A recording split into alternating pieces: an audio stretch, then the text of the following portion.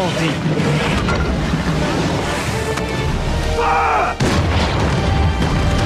Cave paintings, historical texts all talk about sightings. It's even in the Bible.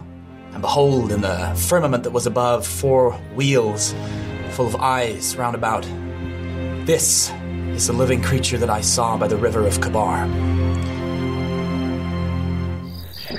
Guys, say something else, would you? I, this, Oh! It, no.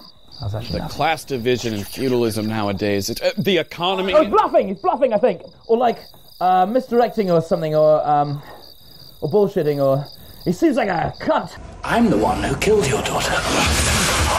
Yes, yes, oh, she was so much fun. She was one of my favorites.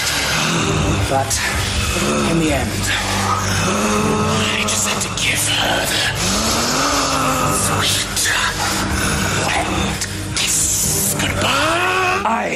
Miguel Luis Neferate, denounce poetry. I, Constabius, I, Miguel Luis Neferate, am done with poetry forever!